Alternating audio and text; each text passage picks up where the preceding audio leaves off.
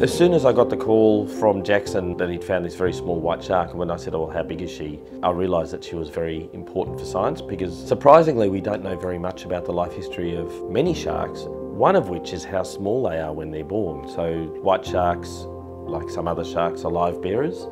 So they actually give birth to live young that have to fend for themselves when they come out.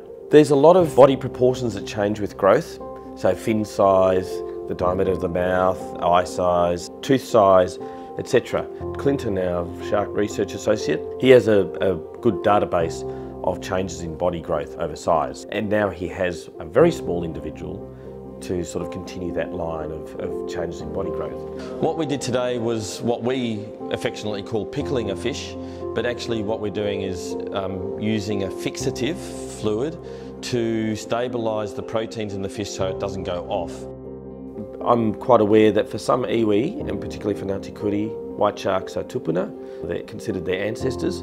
So it wasn't just a simple of matter of just saying, yes, Jackson, let us have it. I actually sought permission from Ngati Kuri to have her deposited here rather than be returned to them for reburial. And as a result of that, she was gifted the name Rehutai by Ngati Kuri. And so it was quite nice to continue that connection we have with Ngati Kuri by having Rehutai deposited here at the museum. Because of her value to the research community, it was important that she be deposited in a museum or a similar institution so people can look at her for hundreds of years into the future.